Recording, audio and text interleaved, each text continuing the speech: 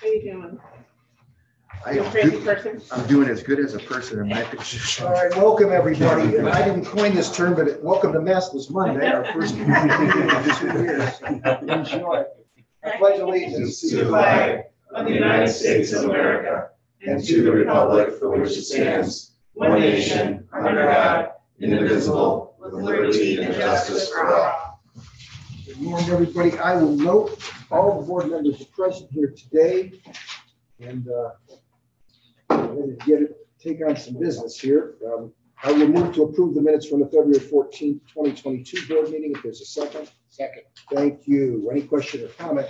Hearing none, all those in favor signify by saying aye. Aye. Aye. Move on to, uh, move to acknowledge the Secretary of State's Directive, Directive 2022-23, concerning data collection notice and cancellation procedures for completion of the 2018 national change of address and supplemental process. Directive 2022-24, statewide candidates for the May 3rd, 2022 primary election. Directive 2022-25, ballots and candidates for the May 3rd, 2022 primary election for offices not impacted by redistricting. Directive 2022-26, the state and House Senate district maps and House Bill.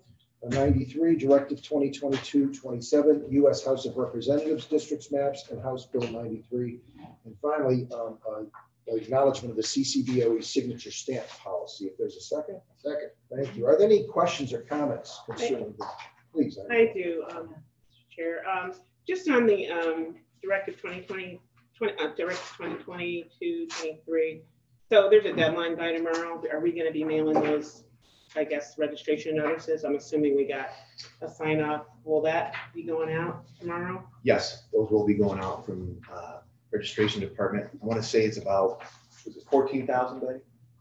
Yeah, about fourteen thousand that we'll send out. There will not be, um, so this is giving them the notice, so there's no cancellation at this point in time. And then after the primary, uh, we'll do voter history, and then we'll go ahead with the cancellation process. Thank you. Um, I just want to acknowledge to the, the signature stamp policy. I mean, that's something new. I know we've all reviewed it and it's part of the Ohio Elections Manual. I know Peter James will be commenting about that later in the meeting. But, um, it's a, I'm glad we have it in writing now and it was well written and well thought out. So thank you. Um, Did I know, I guess on the mailing that, picking up on it, Inajo's, did, I, I see, I mean, do we have particularly a higher amount than most other counties uh, for these mailings? If, if you know? Um, I would say proportionate, just because of the size that we are, we'll have more, um, than other counties.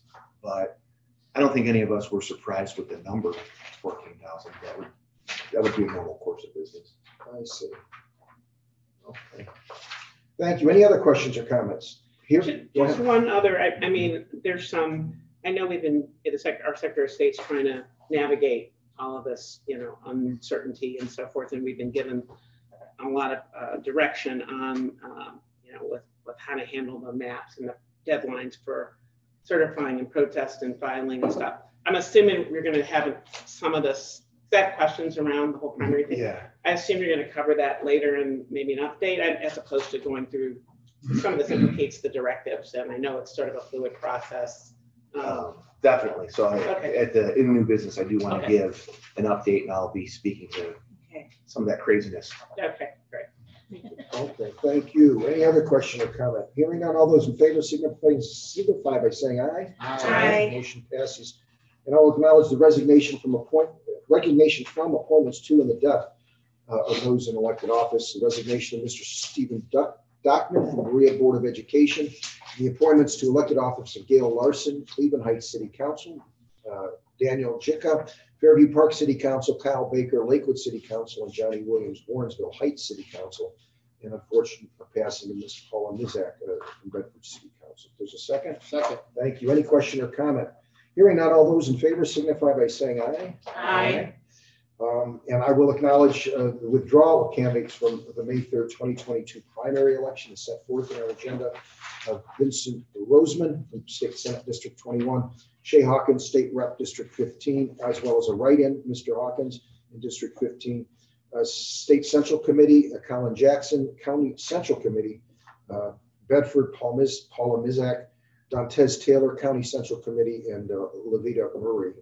Um, And then also uh, acknowledging uh, Westlake Gretchen Hertzberger, uh, at that late filing acknowledgement, and Westlake uh, Aaron Godfrey is a write-in, February twenty-second. There's a second? Second.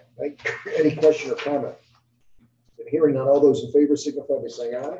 I, Mr. Lawler, good morning. Good morning, Would you set us up here for the review of candidate petitions, sir? Brett Lawler, Manager, Candidate Petition Services. In front of you, you should have a sheet of paper that has um, five candidates.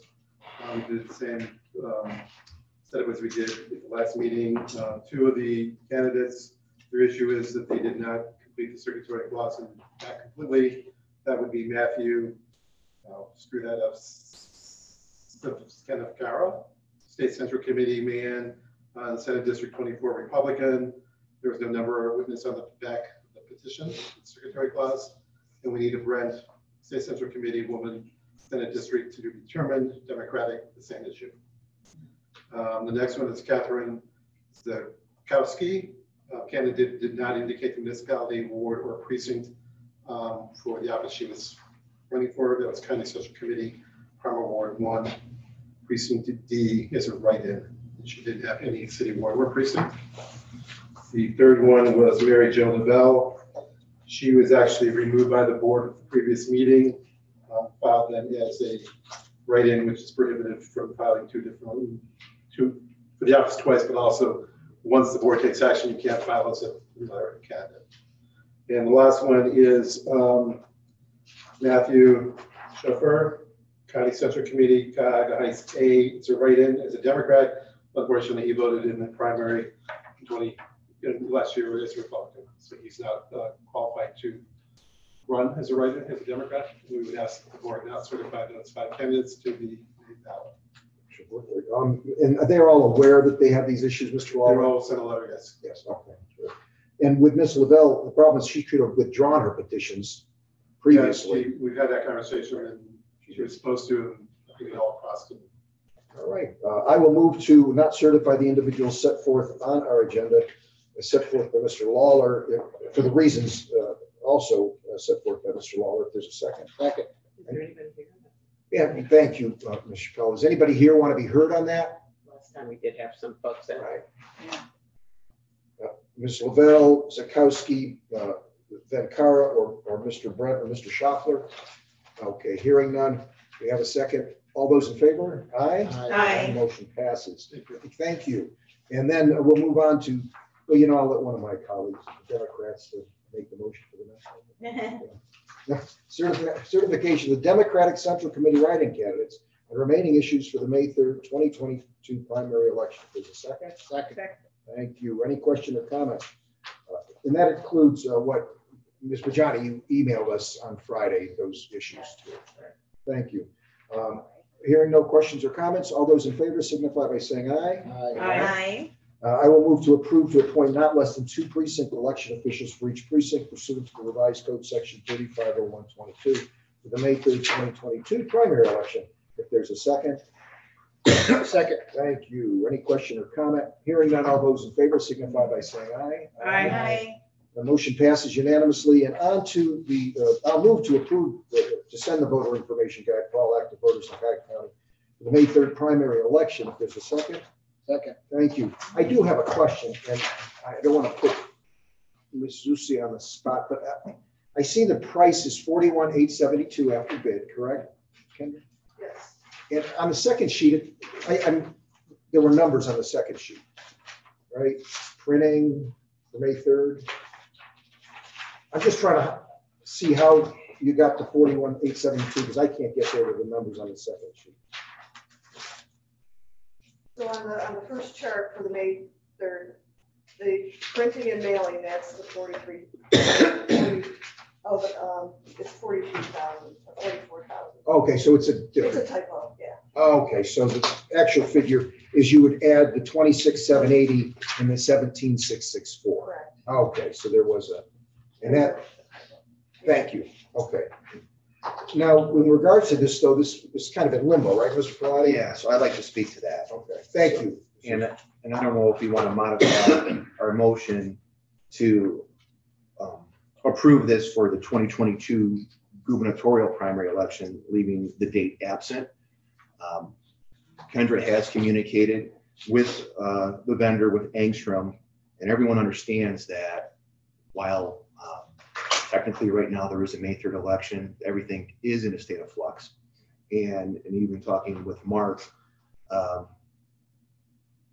we are able to um, award this, and if we award it for the primary election, um, this pricing would stand, and then actually, we don't want to send this until we know for certain when the election is going to be, because as simple as the date of the election appears on this document, and if that were to change, of course, you'd want to change it. If there were to be, for example, two primary elections, uh, we would still, we would want to send one for each. The second one would have to be a second bid, but then we would put a little bit of different information on the first version, drawing the, to the attention of the voters, hey, in this election, you're voting on, for example, statewide and county contests. And maybe the next one, it would say you're voting on congressional or general assembly type thing. So we would want to hone in on that.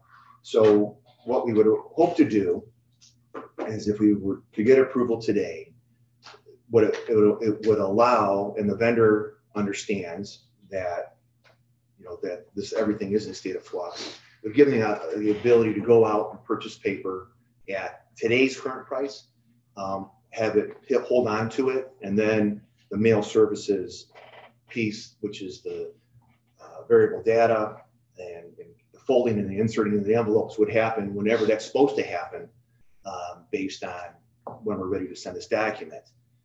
Uh, Typically, this document, we would, for May 3rd, we would be sending information, um, the, the artwork and the data file to them to go ahead and start working on this this week. Uh, Our goal is we'd like to have this hit households about a week before the opening of absentee. And for that to happen, they need to start mailing a week prior to that. And then it takes them a couple weeks to go ahead and, pr- and produce that document. So uh, we're not giving them, we would not give them the go ahead to start on this process now uh, because we can't. I don't think we, or we shouldn't.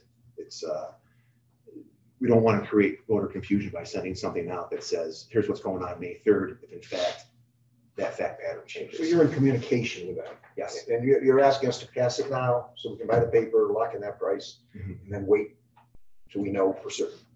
Yes, exactly. I'm gonna amend my motion. I just need to, that I approve this voter information guide in the amount of forty-four thousand, four hundred and forty-four dollars and ten cents. Um, Any, and I, I believe there's, a- is there a second? Second, thank you. Are there any other questions for Mr. Perlatti or, or Ms. Susan? I just, I just want to be clear, so we are, are going to still be able to maintain the contract price, so there won't be any increase in the contract price, even though they know that, I mean, they're not going to print anything, it's not even about our mailing out, I mean, they're going to print anything until we're, we'll have the flexibility to change the text and the content, and all at the same contract price, is that, is that what I'm understanding? Yes, and I just got a response from the vendor saying they would hold that pricing for ninety days. Oh, okay. Okay, that was helpful. I, I, another picking up on that, so we have this November second, twenty twenty-one. Oh, that was the price for twenty twenty-one, okay. Mm-hmm. Yeah, just for All right, comparison. all right, all right, I think it- Thank you. Any other question or comment? You know, I'm glad, I'm just thankful that we have the ability to have some flexibility here because, you know, we shouldn't be approving anything and, you know, then we get a change and then we spent the money. That's great. Thank you. Any, hearing no other question or comment, all those in favor signify by saying aye. Aye. The Motion passes unanimously. I'll move to approve the vouchers as set forth in our um, board package. If there's a second. Second.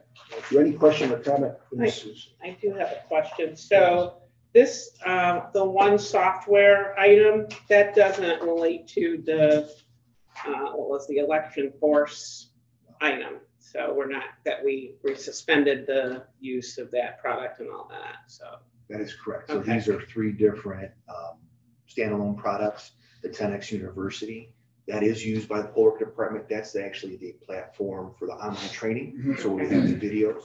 Um, The asset inventory management, that is uh, primarily utilized by election support right now, Vic and his shop to um, keep tabs on everything we have. And then the last one is our actual electronic uh, poll book, and that is Okay, it's an EPB software issue, not, not, uh, correct. okay, Yeah. thank you.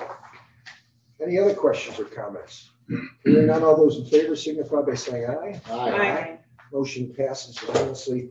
And then uh, we received a letter that Director Perlatti had sent to the board members from Midwest Direct Supply uh, requesting uh, consideration about possibly uh, assisting them in extra costs they're incurring as a result of supply chain issues.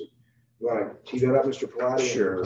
So Midwest uh, Directive initially uh, communicated, reached out with um, our ballot department as part of the planning to get numbers on how many vote by mills do we anticipate going out for the May primary? And they also then asked a question, hey, we're hearing in media, potentially there's the potential for two elections, a second primary.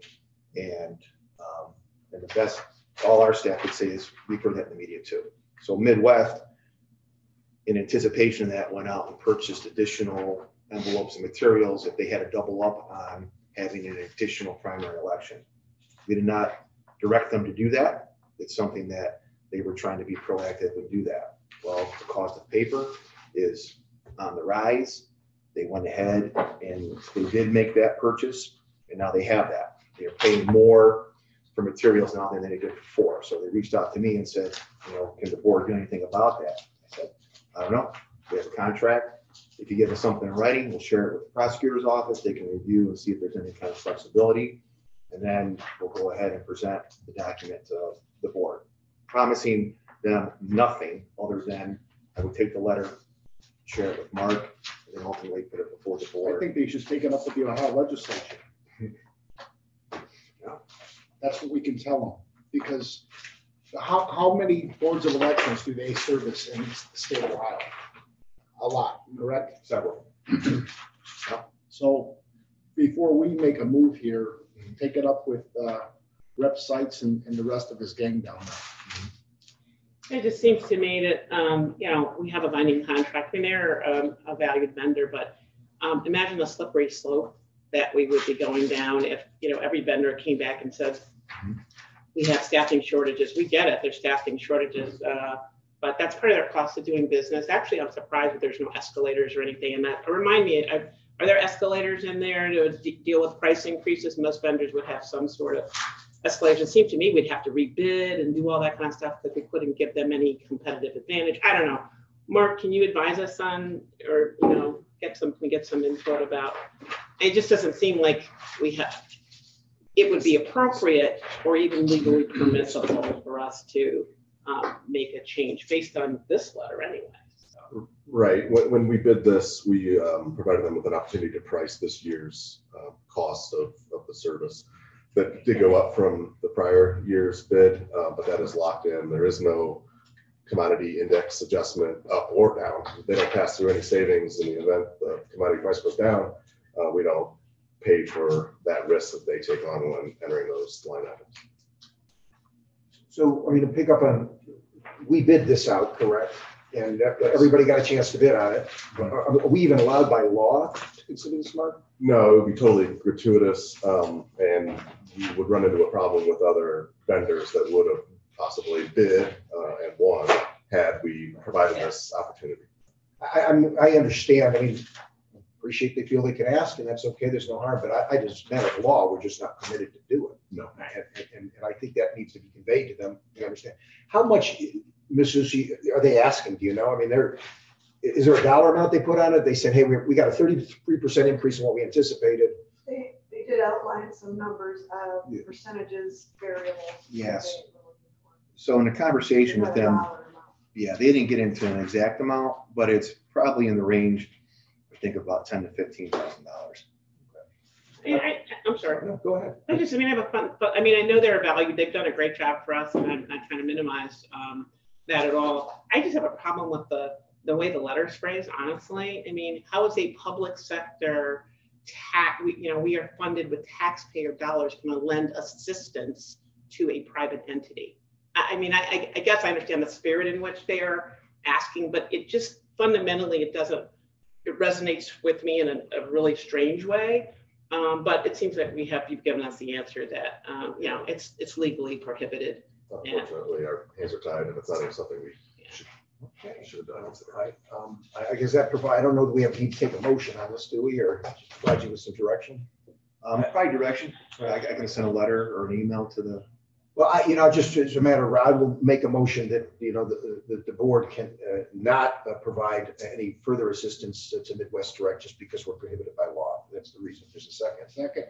Any, any other question or comment? One, one last question, did, or, or didn't we just approve, isn't it, aren't they, we, don't we have a short-term arrangement? It's just through the rest of this year, is that correct?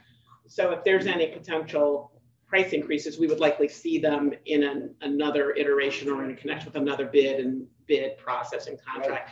So they're locked in basically through the end of this year, Um, correct? so this, the current, there's actually, there's three windows. So this window right now will take us through, through the primary.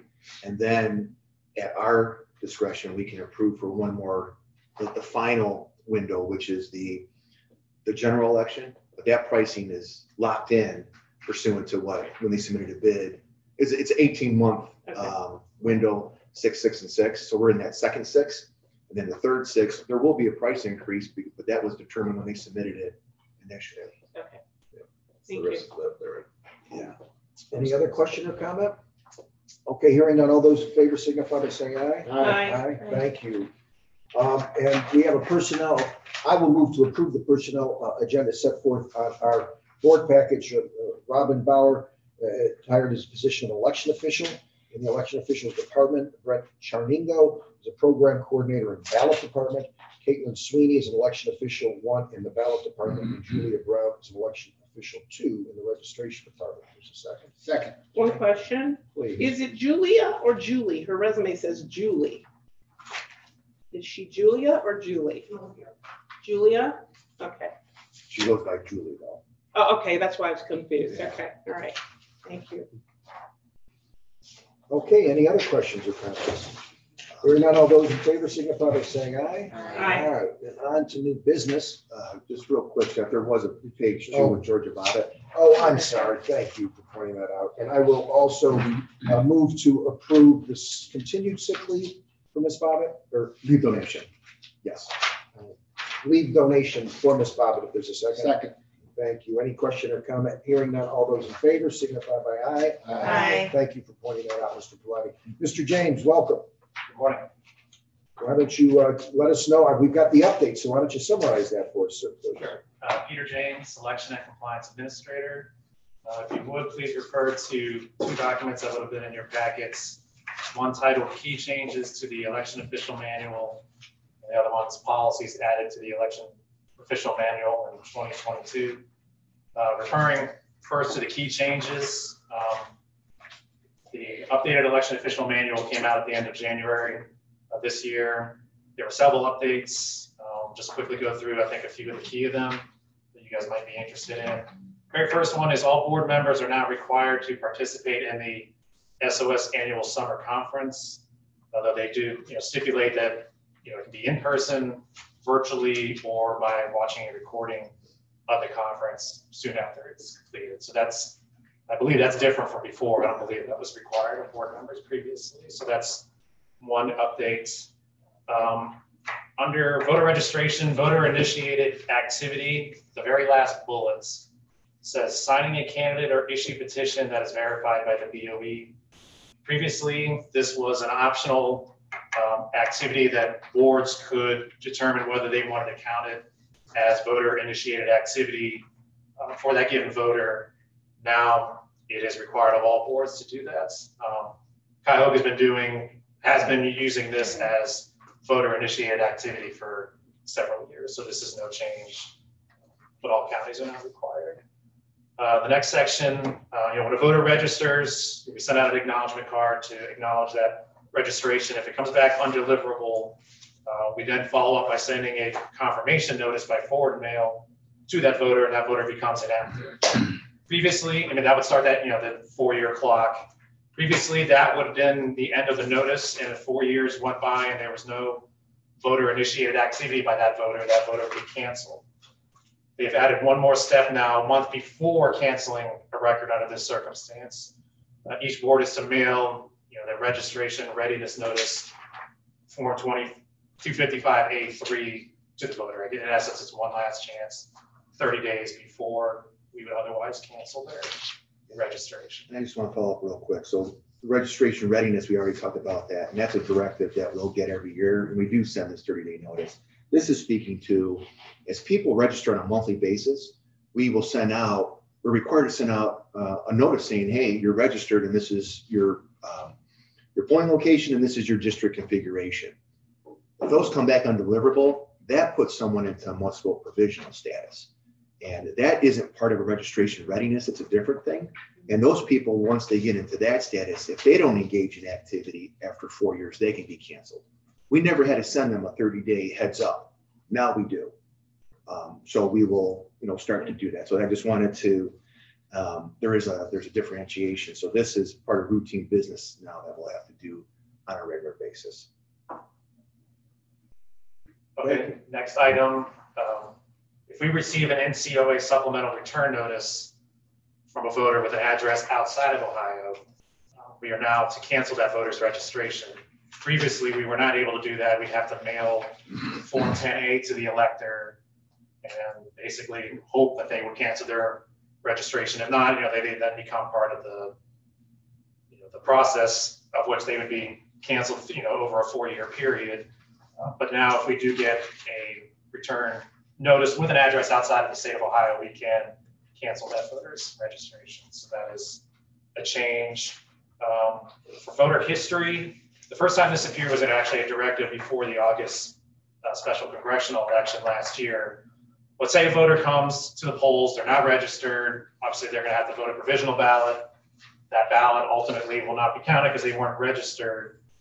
Previously, that voter would not be given credit for having voted in the election. But now, with this change, they will. So in addition to filling out the you know, provisional affirmation statement, which serves as a voter registration, will get that voter registered. They're also getting credit for voting in the election, making sure we understand the distinction, their ballot doesn't count. But they get credit for having participated in the election. So I mean, under, in theory, you're gonna have potentially more people having gotten credit for voting in an election than the number of ballots cast because of a circumstance such as this. Um, Let's see, a couple more items. Real quick with the post-election audits, just quickly want to touch on, they added, they changed the word. Previously, it said boards had to report audit results to the Secretary of State's office within five days. They've now changed it and swapped in the word certify post-election audit results within five days after the completion of the audit, which is, or we understand is speaking to that we're going to have to, the board will have to meet to certify because that's how we certify results. Now, we won't have to do this for every audit because not every audit is required by the Secretary of State. So in those instances, I guess we have our discretion on whether we want to certify through a board meeting or just go ahead and report results of the audit. But for those that are required, such as this upcoming primary election, the board will have to meet um, within five days after the completion of the recounts. We, we currently certify already, I mean, we, that's always on our docket after we do the audits and So what, we- what we'll do though currently is Brian and crew will finish it, they'll report, and then whenever our next meeting is, we'll certify at that point in time. Could be five days, could be ten days, you know, whatever it is. Just- now it's gotta be five days. Sounds like- Right now it's five days, and it's for those ones that were, like Peter said, required to do. So every general, every November election, and even your primaries. We'll still continue to audit everything, but like say when we have a September, we don't, we won't have to hurry up and have a meeting in five days. Um, What's gonna be a little bit challenging for all boards is you don't know if you have a recount after you certify. And so it's not like we can put it, a date on the books right away, because you have to see is a recount or not a recount, and then that impacts when you do your audit. So we'll, um, more, more reason for you to continue to push for remote meetings for something like this where we could come together just for five minutes, you know, and take that um, action. Thank you, thank you, Mr. James. I know you Okay, a couple, yeah, a couple more items here under the uh, updates to the EOM. They added a, a new section called testing and certification of electronic poll books. Um, And underneath that, a section called communication. In there it details the restrictions on transmitting data, what is permissible to be transmitted, what is prohibited, et cetera.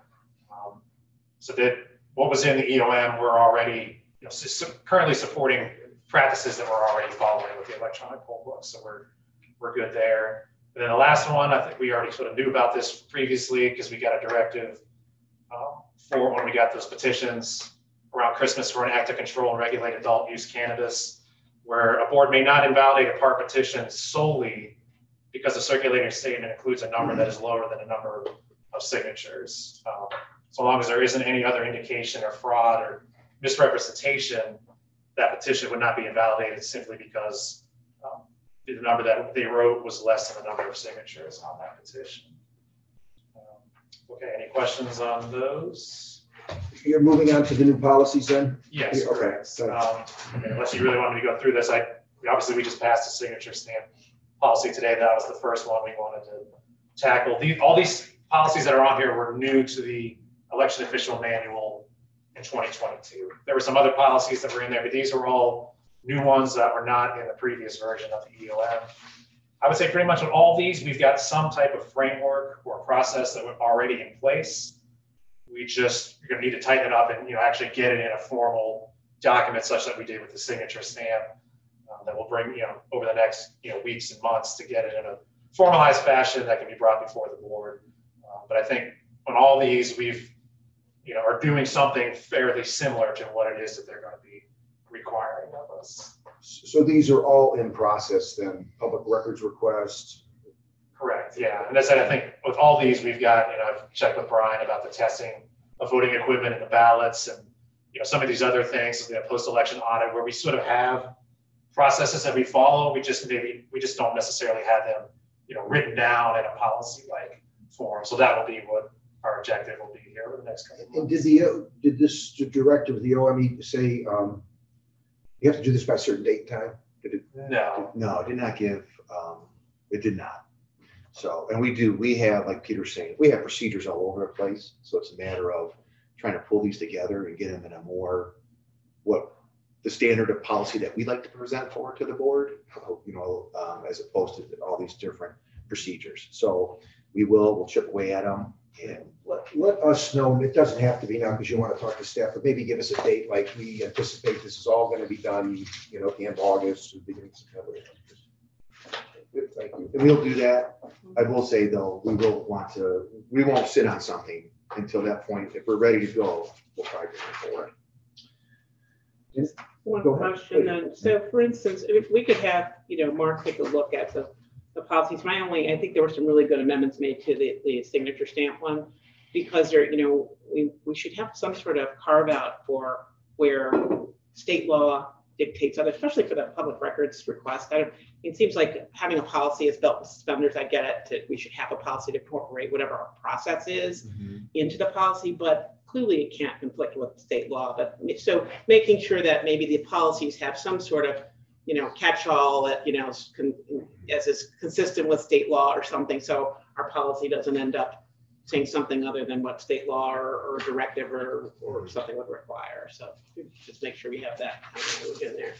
Thank you. Thank you. Thank you, uh, Peter. I Appreciate the update. And there's a lot of hard work going with that. thank you guys. Okay. Mr. Perlatti, new business. So yeah, I want to give, want to give an election update and I'm kind of, kind of, if I can, I'll do it like in just two little, two parts. So first I want to talk about just briefly poll worker training and poll location changes that we're working on. And then the second part is I'll get into um, going back to like some of these directives that we have and how that impacts this agency. So first, uh, for May 3rd, the, the training window started this past Friday, March 4th. Um, and we in fact started that. Uh, we sent out the online training link to 825 workers for them to start taking online training. Uh, we had 71 individuals signed up for in-person classes Friday and Saturday over the weekend. And then for, uh, as of last Friday for this upcoming week, we have 281 individuals signed up to, to, to have classes. We have to do this because again, as of now, there's a May 3rd election and we need to start going down that path. One thing that I guess gives me a little bit of comfort is that these people, where they train and whether the election is May 3rd, June, July, or August, this training counts. It's not um, wasted efforts on our part. Um, And it seems like we're starting to get some positive response to the, the adjustment in our pay increase, which is, which is good. Um, And it's kind of going how we, how we wanted to. And uh, so that's good. Uh, The other item I wanted to hit on is polling location changes. And we've been working on that for this cycle. Um, We've had places where they're going under renovation and other things. We've had to make some changes. Right now, we've had to move out of 17 polling locations, and that is impacting 46 precincts, uh, spread out over seven municipalities. And it's about 45,000 voters as of this point who would vote somewhere differently. Um, And we have, uh, we still have a couple that we need to finalize. One of them is in Euclid. We have a current, location that's going to be going uh, under renovation, so we need to find a place for those individuals. Uh, the Rocket Mortgage Fieldhouse, you might have to come out of that. Um, and that's because, uh, the Cavs might actually make the playoffs.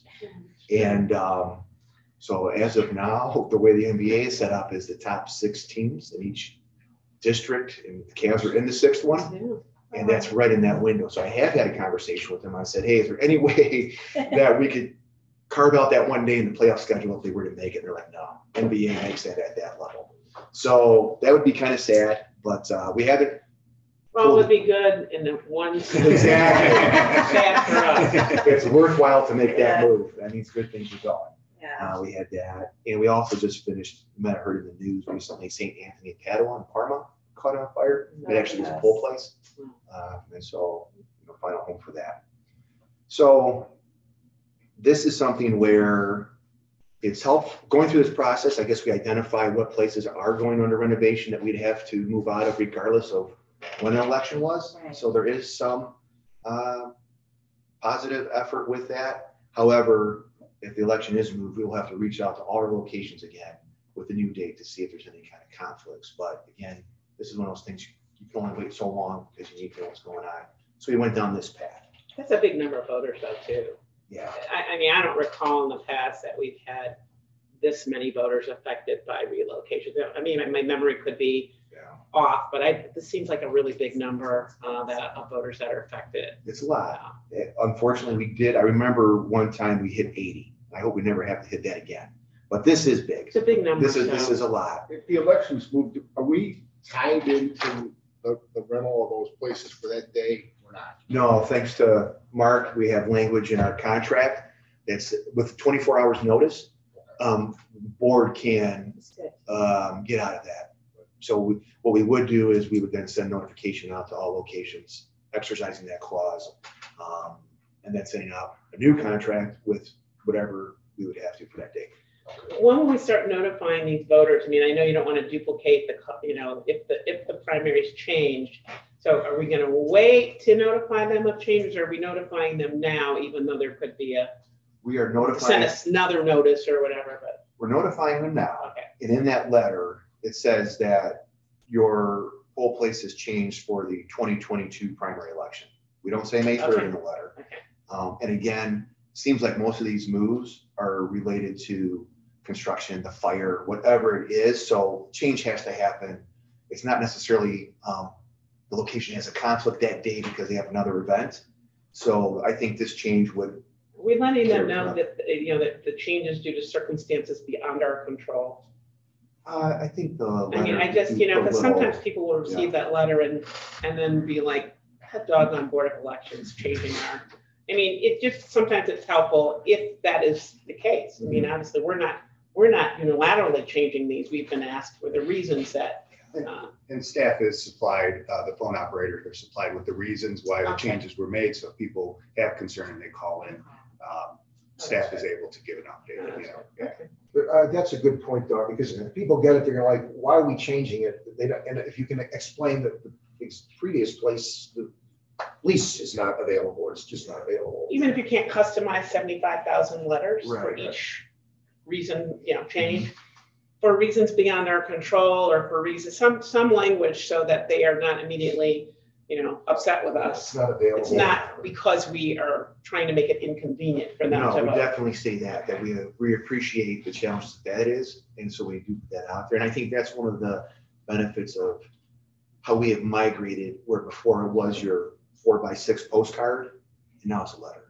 It's more personable, we put a little bit more information in there I and mean, if you can that. personalize it, I would just, just, you know, that's a lot of letters to personalize, but hey, if you We- we- can. No, we don't customize it to that Oh, okay. level, but the, the letter we're able to put more like, Yeah. instead of just getting a card saying, whole place is here, there you go, it's, hey, we understand that it can be stressful changing the poll place and we appreciate that, you know, so some of those kind you can identify, you know, in the past year, we have been asked because of X, Y, Z, for example, that the change, you could give them a, a little bit of a list of regions in the letter, maybe. I'll leave it to you, but I think something ought to go in No, there. but I, I heard you, yeah. Okay, so now I want to kind of hit on, I guess, the, the directives and, and how this impacts Cuyahoga County. And, you know, especially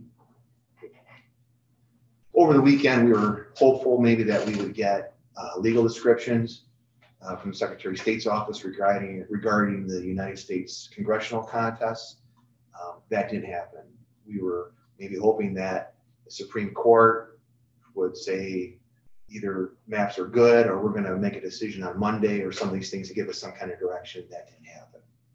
Uh, What did happen is Secretary of State got notice from the Department of Defense that the UOCAVA waiver was denied. Um, and UOCAVA starts on March 18th. So that's not a good thing. So you look at all these things and, and when I see what's in front of us to accomplish, at this point, I, I just don't know how we can conduct in Cuyahoga County with our size and breadth of candidates, how we can conduct an election to our standards on May 3rd. Uh, we have obstacles that are outside of our control um, that really impact how we how we do business. And like um, and, and all boards, you know, have a high standard and stuff. But typically, we go into a process, and I'm able to tell you and hopefully give you assurance that we can conduct this to our standard with a high level of accuracy. I can't say that right now. Um, and in my short tenure as director, it has been quite a roller coaster ride um, with 2020 and with the number of elections last year and now this. This is actually, in my opinion, the worst scenario that this agency has been in. This is worse than the 2020 primary election that was postponed on the eve of the election. And the reason is, for that election, we were able to kick off our schedule and, and engage in our processes. We were able to um, create the ballot, which is the foundation of so many things that we do here. I mean, creating the ballot obviously is the ballot, and it, it allows you to meet UOCAVA and vote by mail. But also, you can't test um, scanners that you use at the poll place for logic and accuracy until you have have a ballot, because a test deck of those ballots is what goes through there. And you can't pack up a scanner to ship to a polling location until it has successfully completed logic and accuracy testing. So you have this domino effect. You can't put in vote by mail applications into the system until all this is set. Because if it changes, then you lose all that data entry. So we have all these obstacles in front of us. In 2020, that didn't exist. We were able to create a ballot. We could test equipment. In fact, we had the stuff out at the polls and then we had to react to the after. We can't even get to that point. So, and, and it just kind of lets you know what we do here when it comes to creating a ballot. We, we, we know, know when election day is. And six weeks prior to that is when uh, IT and ballot will import the, the data. So they take this information from the voter registration system and it goes into the, the ballot layout software. So that's six weeks before the election. That was February 25th. And we did do that. But we did that based on the directive at that point in time, which says no General Assembly, no state central, and no US Congress. So we imported for basically statewide offices, um, county things, and, and precinct committee people. So once we get that imported, it'll take Brian and his team three weeks to go through the rounds of proofing to get the ballot where We have hundred percent correct accuracy that everything's spelled correctly, all the candidates are on there, the different districts, because it's not the same ballot for everybody, as we know. Every one of those is correct, and that happens three weeks after import, and that falls right at the, at the UOCAVA point, which then we're able, we haven't printed a ballot, but what we're able to do is we can send out electronic ballots, and then we know those will get remade when they come back in. Once you get that to that point, that's then when we start the approval to print process. And what that is, is we send a, we create a file here and we send it to the ballot. So to Midwest to print this test deck. Now, test deck, what that does is there, it's, they're sample ballots that will account for every oval position on all the ballots across all the precincts. That, so something like this, a partisan primary that has county uh, precinct committee people can, can easily be 50,000 plus pages. It's a giant document. And the more candidates you have in a contest, the more, the larger it grows. Um, so for example, if you have 10 people running um, for Secretary of State from one party, that's 10 oval positions that you need to rotate through, that you need to figure it out by polling location. That becomes big. That approval of print process from, from sending over to the printer to create the test deck, to get it back, then you have to parse it out by poll location and that, it's about a seven day process to do that. So once we get to that point and we're comfortable, and what we're testing on at that point is our central count scanners that we do vote by mail on and all of our backup scanners. So we, we tested on that population of equipment. When it's good, we give the vendor, okay, you have the approval to print ballots. That comes one week before absentee opens. By doing, and that's March 29th, and what that does then is it allows uh, Midwest to start to print uh, vote by mail packets for information we've provided to that point, as well as print the ballot wall for early in person. So we have all those ballots. And by giving them a week's heads up, when opening happens on the 5th, we're able to have a fully stocked early in person uh, ballot wall, as well as get a lot of ballots out in the mail. Once we get that approval of print, that's now when we conduct the logic and accuracy test on all the election day stuff. So that'll be the the scanners that we send out to the polls that they'll use. So you have all of that. So you can see that there's these things that are contingent on the first piece happening to the next piece happening. What we where we're at right now is for for for statewide offices, for countywide offices, we we did that import and we started that that proofing, that layout and proof process. But what'll happen is we're going to have to now adjust the election profile and re-import. When we re-import, basically what Ryan has gets put in a drawer and he has to start afresh again. We're able to, to and before they can do the import, Brent and his shop have to actually go in now and create the election. So they have to, to build this in the voter registration database. We have been able, we got the legal descriptions for the General Assembly. Um, and we were able to now get those map lines correct. We were able to do the data entry um, into the voter registration database. And what that means is each precinct, we go in and we assign that precinct to its district configuration. So now you will be, for example, um, House District 21, your House District 22, and we do the same thing for the Senate.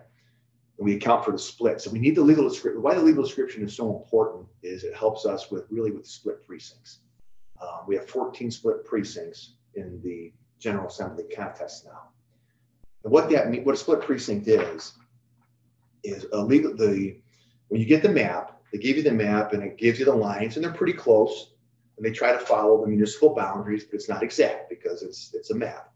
And then they also provided the General Assembly or the Redistricting Commission census block data. Census blocks are important because a precinct is made up of census blocks. Sometimes it's one census block, sometimes it's multiple census blocks.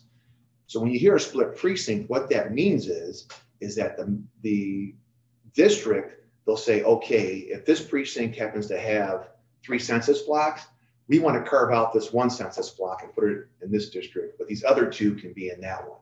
And the reason they do that is I guess when they're doing their methodology, as they're trying to balance population and balance everything else they're doing, they need to make those carve outs.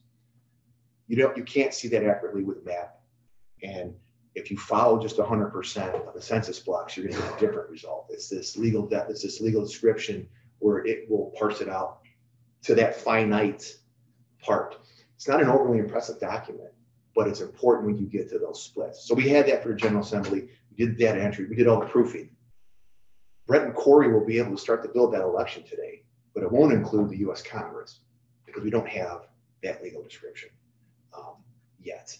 So they can go ahead and they can do that, and we will start to do that. And we're gonna talk today after the meeting with the departments, and make sure we wanna go down that path.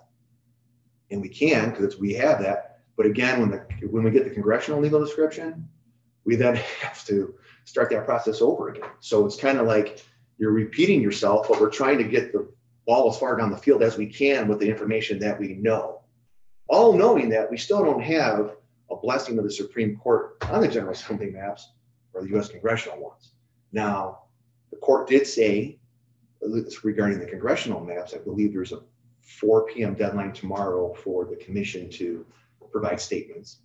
Um, That's something, but it doesn't necessarily mean that you get a decision. So, so let me just interrupt. we're- Yeah. And I understand, I mean, I appreciate you detailing all the Yeah. steps and everything's related to each other clearly. And when you get so far, and then there's a change, you have to redo it again. Mm, I'm, I'm, I'm, Yeah, I'm heartened to hear that at least you're doing as much as you can with the process. yeah. Right. But right now, we don't have an approved Senate congressional maps or House maps.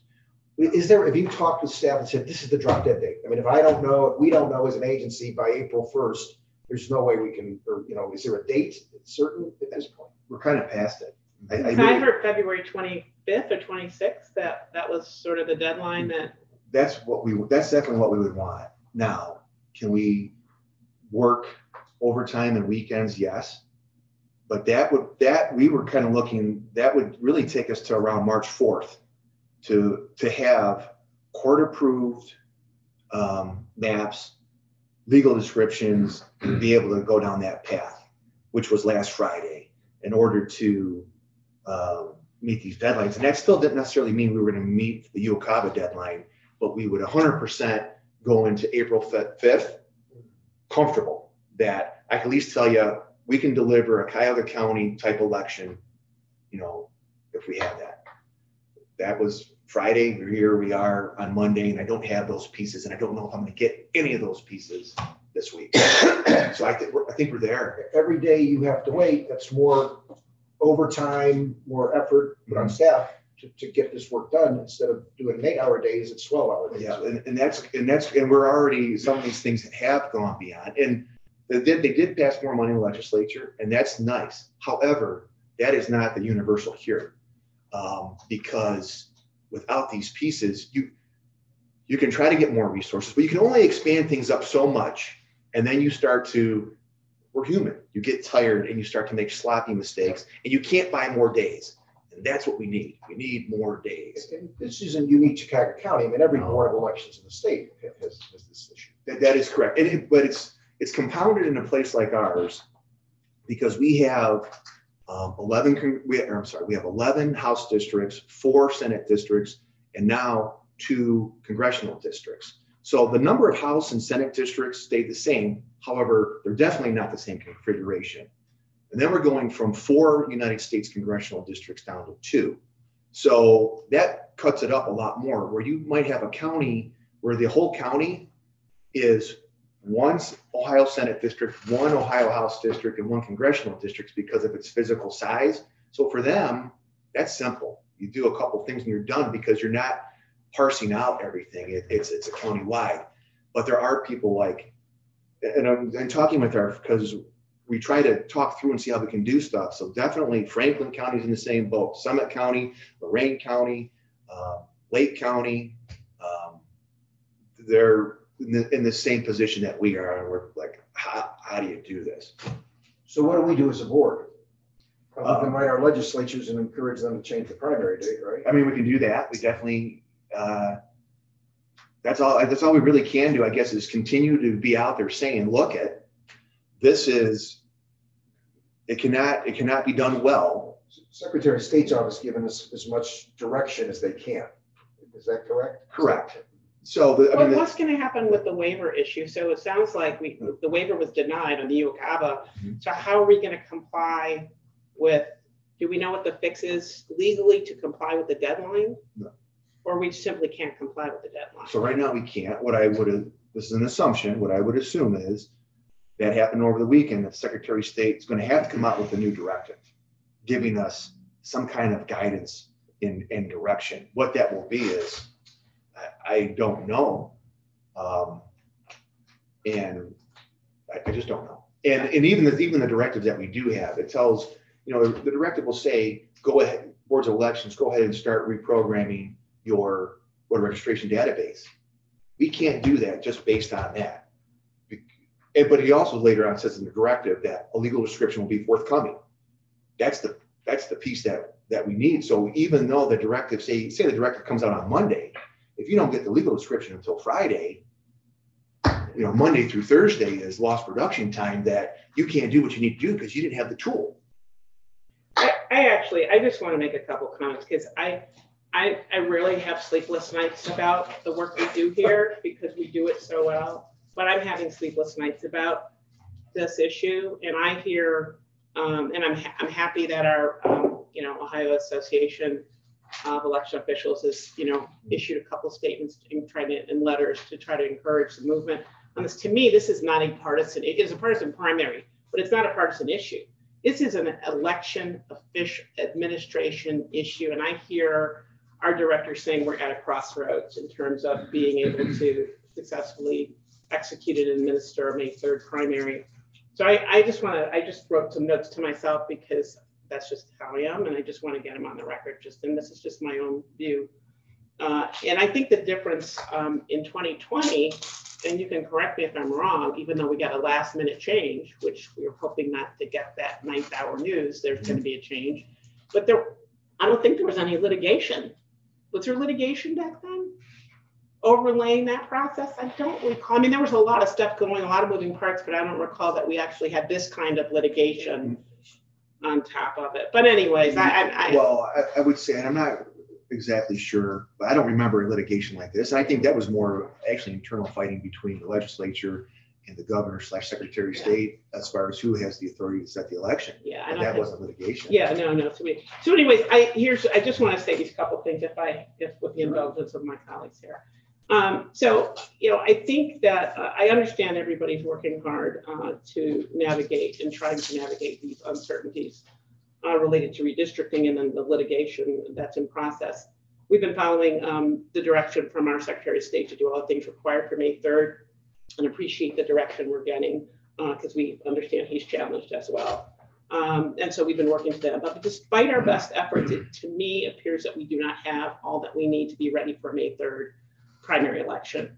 Uh, we're unable to prepare the ballots. I mean, it just seems to me that is so fundamental to this process. And if in the, with the inability to prepare the ballots, I don't know what, what we're going to do. Um, we talked about the denial of the waiver and, you know, we don't know how we're going to comply with that de- deadline. And I know we're going to get additional instruction from our chief elections officer on that. Um, so, I mean, our staff and this organization gives hundred fifty percent to prepare for every election, large and small. But as you say, it's a process that requires sufficient time for each necessary task that has to be accomplished. We know you've been working feverishly to try to accomplish all of those things for May third as instructed. Uh, but I think we're at a turning point and we don't have what we need to do, uh, to prepare the basic ballot. And I don't think the answer is to have two primary elections. I mean, I think that would put an extraordinary burden on the agencies and, and it's more about, it's not only money, to your point, um, it's about the resources we have to assemble uh, and, and get together and people, the people resources we need. And I'm really concerned about the potential for voter confusion, eh, especially if we get the last minute, okay, we're gonna switch. If we know large counties and probably some smaller counties too, are where we are at this point, and there's so many uncertainties, I just think that we need somebody to be thoughtful and proactive um, and and move this thing out. I just don't see how we can do a May 3rd, given what you've said today. I mean, it would be great. I mean, I'm not excited about having an election other than what we've already planned for, and everybody and candidates and voters and everybody thinks we're having a May 3rd primary, but it doesn't make any sense. and it doesn't make any sense to me from an administrate election, that is not partisan, other than it's a partisan primary, but this is, you know, we don't, should, there shouldn't be fighting. We can't successfully, is what I hear you saying, we're at a crossroads, effectively administer the kind of election that we are used to doing in this county. And it's cause for concern as far as it's keeping me up at night. And so I would hope um, that somehow, uh, if we are really at a point of no return, that um, we get some, are the folks and all the stakeholders uh, that making the decisions to figure out uh, to move this thing to one election out far enough that gives us the ability to do what we need to do. I, it's just my own opinion. I mean, yeah, I would love to have a May 3rd primary election. I just don't think we can do it, and we need to level set expectations for the voters and for our, all the stakeholders that we potentially could have problems if this doesn't get sorted out quickly. Thank you for your thoughtful comments. Um, What do you do? I know. Um, I mean, we, I, you know, I, I could draft a letter on behalf of all the members and we can send it to the president of the Senate and and the speaker of the House. You know, it's just, uh, Yeah. I mean, I, I'd- I'll circulate something like that and then get your edits on it. I don't, That would be great. you know, at least Um, we feel like we're doing something. Yeah, I mean, I think we just have to go on record. I mean, we've kind of been quiet and silent and not to create a problem, not trying to create a problem uh, or interject, you know, more of, you know, craziness into the process, but I think we are duty bound to, to speak to this as a board. I mean, especially given the report we've gotten today from our The director. secretary and the attorney general have written to the speaker and the Senate and, and, and so has the OAA that has done it. So I don't think there's any reason why we just as an agency, if, if we feel, if, if that's what our board members want to do, then I, I support that. I would, I would support that as well. Terrific. Thank you. I mean, I don't know, I wish we could end it up on a high note, Tony. I know, Yeah. I, uh, I, and I'm, and I will say this, that, one, and you already know this, amazing. Mhm. Oh, However, yeah. you can Yeah. only do so much. And, and, um, And we appreciate this. I don't know if we say it enough, um, but we just, I tried to say, hey, we know you guys do hundred and fifty percent. Uh, and then, and everything's fluid, and so we certainly are appreciative of all of the work and the work and then the rework and then the back and forth. But I think, um, in addition to fairness to the voters in the county and fairness to the staff, you know, some, something's gotta give here, and this doesn't make sense. So you had commented about us meeting again, possibly, we may have to if, what, maps are approved or? Yeah, so there is, um, in current directive, March fourteenth is the certification deadline for candidates to, uh, to the General Assembly, as well as, um, State Central and US Congressional. So that's a week, um, from today. And, um, and that, and that would just, just like how we do a typical certification, we would, we would come through that. Um, it would, what I would think is be just a five-minute meeting. I wouldn't want to load up with, think, a full meeting. So, so you, we may have to meet on the fourteenth, you don't know. Well, happens this week? Right, it depends, right, if you don't get any news this week, we don't meet on the fourteenth. uh, well, like I said, as of today, the directive says that's the, the certification. So, all right, so should we, Deadline, should we plan on meeting on the fourteenth? I think we, I think we should, I think we should. Comply with the directive. we Does should. that Yes. work for anybody's schedule? So Yeah, I'm okay. Fourteenth. Okay, Yeah. at nine thirty? That's Yeah. fine, Okay. yeah, If, if it, if, if, if there isn't a need to meet, you'll let us know. exactly, Mary, then you'll get the notices out. Okay. All so, right, Why did I think there was a seventeenth? What, why did I think there was a seventeenth? uh, March seventeenth, March seventeenth. March seventeenth is the candidate protest deadline. Oh. So you have to have certify them first, and then, so you can have that, so, I mean, there's still, even to that, March seventeenth is a candidate deadline, but also, also is crazy, we have a March twenty-sixth deadline, that if anyone in the General Assembly, you know, by, by March tenth, they're supposed to notify us if they want to change districts. And then if they do do that, then by the twenty-sixth of March, they're supposed to update their voter registration to live where they want to run. So I- even that, you have that. Did I see something in the directive, and it may change that, as long as they do the initial notification or give us the, the burden then falls on us as the board of, the board to make any changes after the district, the district is return. I mean, I, I, I mean, my eyes were glazing over at some point, but I thought that, I mean, to the secretaries, uh, it was a good thing to try to put the burden on us at some point. If there's been no change, um, and the initial filing was made by the candidates, then we would be then obligated to, you know, create the change and the direct, I, I, I don't know. I thought I read that that Yeah, there is, became some- our obligation and not really the candidates, but. there is something for the General Assembly. If they don't notify us by March tenth um, of their desire to move, then we, then boards of elections look to where do they live? Okay. What is the district? And that's where you're going. Okay, you're saying it much more artfully than I could have. but yeah. But I, but, but to be honest with you, these directives all start to blur and intermingle. Yeah. um, For me, and it's There's a lot. Any other new business. I don't have any other new business. Mr. Gallagher, okay. Mary, any public comment? Okay, and so we will adjourn then today and uh, come back here on the fourteenth if necessary. All in favor? Aye. Thank you all. Have a wonderful week. Thank you.